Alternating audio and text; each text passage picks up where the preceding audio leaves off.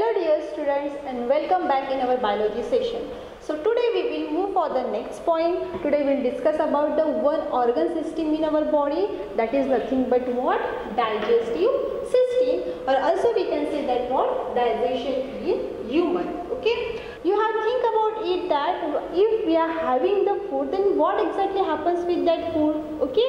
So see we are putting the food into our mouth and we are throwing out the undigested food with the help of the anus okay? So these are the two process but these are the only two process which comes in the digestive digestive system? No okay so once the food gets enters in our mouth there are the so many processes are going on on that food. And at the end the digested food we are throwing out from our body that is the last process happens in the digestion of the food okay? So there are the so many things or so many processes are going on on the food that we are having. So the beginning of the digestion of the food is happens in our mouth or it is also called as what? Buccal cavity. And it gets ends into the anus by throwing the undigested food uh, from our body okay? So to perform all these digestion process or to digest the food there are the so many organs okay? Comes together and then performing the digestion process okay? So all this food system or we can say that whenever we are adding the food into our mouth and then we are throwing that food with the help of the anus.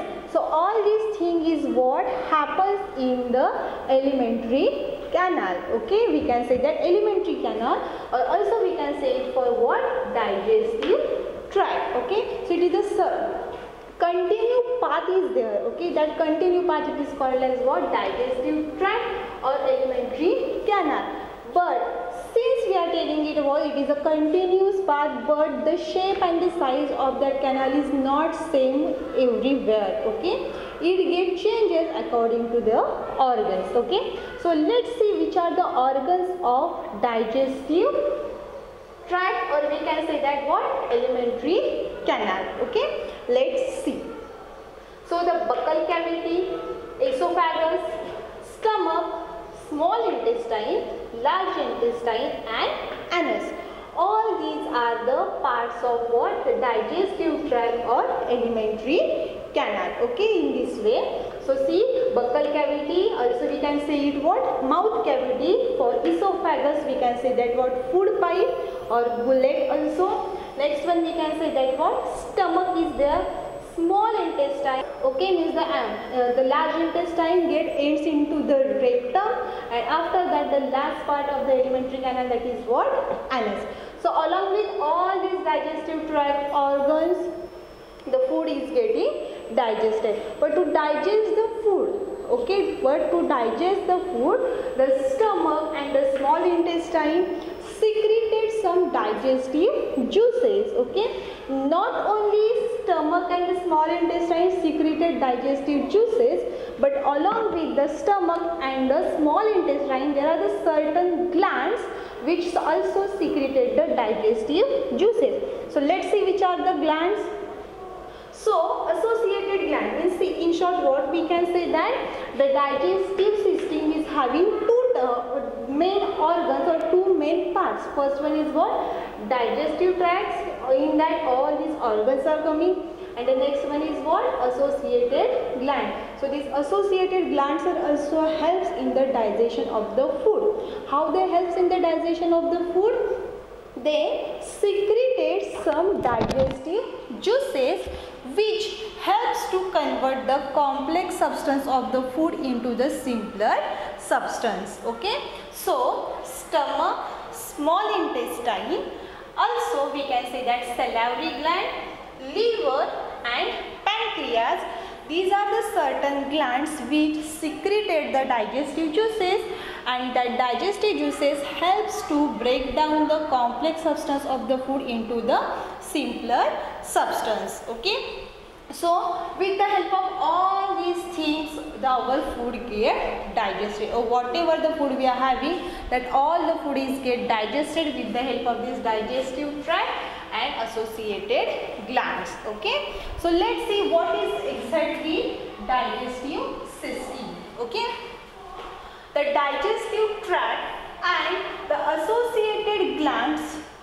together constitute the digestive system. So how the digestive system form? The digestive system is formed with the help of this digestive tract and these associated gland. So this digestive tract and the associated gland togetherly form what? Digestive system. Okay.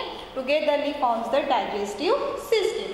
So all these organs of the digestive tract we are going to discuss deeply one by one among that today we will discuss first one that is nothing but what?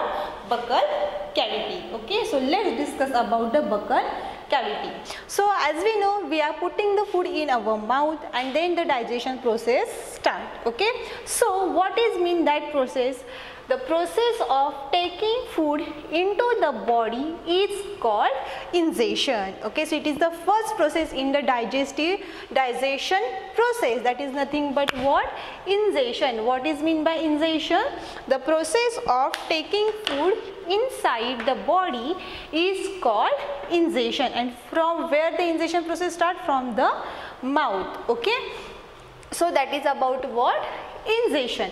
So once the food get enters in our mouth, it started to get digest. Okay, but in the buccal cavity, there are the certain other organs are there which helps to digest the food. For example, we can say that the buccal cavity contains teeth, tongue and salivary gland. Okay, so in the buccal cavity, teeth, tongue and salivary glands are present which helps to digest the food. So how they help to digest the food one by one we are going to see. Okay. So let's discuss about the first part of the buccal cavity that is nothing but what?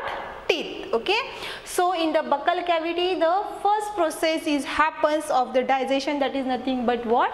Ingestion. Ingestion means what? We are taking the food in and that process is called as what? Ingestion. How we are taking the food in with the help of the hands that we have seen in our previous video. Okay. With the help of the hand we are putting the food into our mouth and that process is only called as what? Ingestion. So now without wasting the time let's move for the first part of the buccal cavity that is nothing but what? Teeth. So this teeth plays a very important role in the process of the digestion. How they uh, plays a vital role in the process of the digestion because as we know we are putting the food into our mouth and from there we are started to bite it. Okay, so when we are biting the food it get breaks into the small small pieces and also it helps to mix the food into the saliva. Okay, so the chewing mixes the small pieces of food with saliva called as mastication okay? What is meant by mastication? Chewing mixes the small pieces of food with saliva called as or that process is called as what? Mastication okay? So the digestion of the food happens in the mouth that is the mechanical digestion. Now why mechanical digestion? Because we are chewing the food okay? We are doing that activity. That's why it is called as what? Mechanical digestion okay? So in our mouth there are the different types of the teeth okay? There are the 32 teeth are present in the adult person's mouth okay? So each and every teeth is having different shape and the size. How it is that or why it is like that? Because according to their structure and according to their functions their shape and size get varies okay? So let's discuss the different types of the teeth. Basically there are the four main types of the teeth let's discuss that. So the first type of the teeth is nothing but what? Incisors okay? So these incisors are the four flat and blade like teeth which are present in the front part of the jaw okay? So the first four teeth are called as what? Incisor they are what? Flat and blade like okay? Next one is that front part of jaw. They are present in the front part of the jaw and they helps to bite and cut the food okay? So this incisor helps to bite and cut the food. That is the reason they are called as what? Cutting teeth okay? So these incisors are called as what? Cutting teeth. Let's see the next type of the teeth. That is nothing but what canines okay so these canines are present on the either sides of incisors okay so these canines are present on the either sides of incisors two in each jaw so the number of canines present in the each jaw is what 2 two. Two in the lower jaw and two in the upper jaw. Okay. Next one. So this canine helps in tearing the food. Okay. So how these canines helps to tear the food because these canines are very sharp and pointed. The canines have very sharp and pointed pointed teeth. Canines are the very sharp and pointed teeth and that is the reason they helps in the tearing the food and that's why their canines are called as what tearing teeth. Okay. Next one we will discuss about the premolars. Okay. So premolars next to each canines okay? So there are the two premolars are present next to each canines okay? And these premolars are the flat and the broad teeth which helps to grind the food okay? These canines are the flat and the broad teeth which helps to uh, grind the food. And that is the reason they are called as what? Grinding teeth okay? So the premolars where they are present? They are present next to the canines. How many they are number? Two premolars next to each canines. Means there are the four canines present in the each jaw okay? Next one these canine uh, these premolars are having the broad and the grinding surface which helps to grind the food and that's why they are called as what? Grinding teeth Next one we will discuss and the last type of the teeth that is nothing but what? Molars. Okay. So these three molars on either side of premolar. Next to the premolar there are the three numbers of the molars. Okay. So the three molars on either side of premolar. After the premolar there are the three molars are present. Okay. These molars are larger than premolars they also helps to grind uh, food and that's why they are called as what? Grinding teeth okay? Their surface is also having grinding surface and they are also broad and that's why they are also helps to crush and grind teeth and uh, grind the food and that's why they are called as what? Grinding teeth. So these are the four types of the teeth that that are what? Incisors canines premolars and molars which are present in the uh, jaw of every person. So we can say that the an adult person is having the 32 teeth in their mouth 16 in upper jaw and 16 in the lower jaw okay? And all in that jaw we can see these different types of the teeth okay? So this is all about today. Today we have discussed about the digestive system. In that we have discussed about the alimentary canal associated gland we have discussed and we have studied the buccal cavity. In the buccal cavity we have discussed about the teeth and the types of the teeth okay? So here we will stop. To we will meet in the next video. And for today thank you